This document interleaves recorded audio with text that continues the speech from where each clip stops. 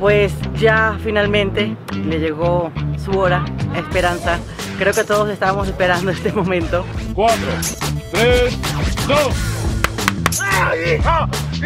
Me lo disfruté muchísimo el personaje de Esperanza y lo que me gustaban de las escenas de Esperanza eran que siempre era un reto para mí como actriz hacer algo que no se parece a mí, o sea, jugar con este personaje, que este personaje me daba la libertad de, de, de siempre estar eh, haciendo diferentes cosas dif diferentes a la que soy yo. muerto ya! Cuando yo leí las escenas de la muerte de Esperanza dije, wow, yo no sé cómo voy a hacer esto, este despliegue helicóptero, matan hasta azar. ¡Mátame de una vez, hijo de puta! Yo estaba muy nerviosa porque nunca había hecho un proyecto donde me mataran y cuando llegó el momento en que me pusieron los estopines para hacer la escena de, de, de los disparos, yo ¡ah! tenía muchísimo miedo, pero me lo disfruté.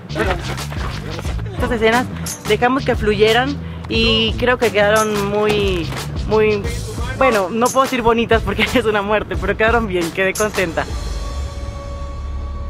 Fue un personaje que disfruté mucho y espero que ustedes eh, hayan disfrutado también.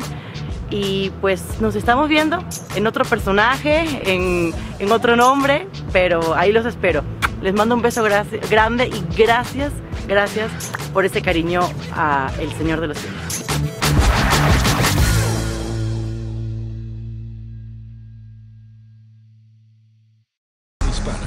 voy a matar como un perro.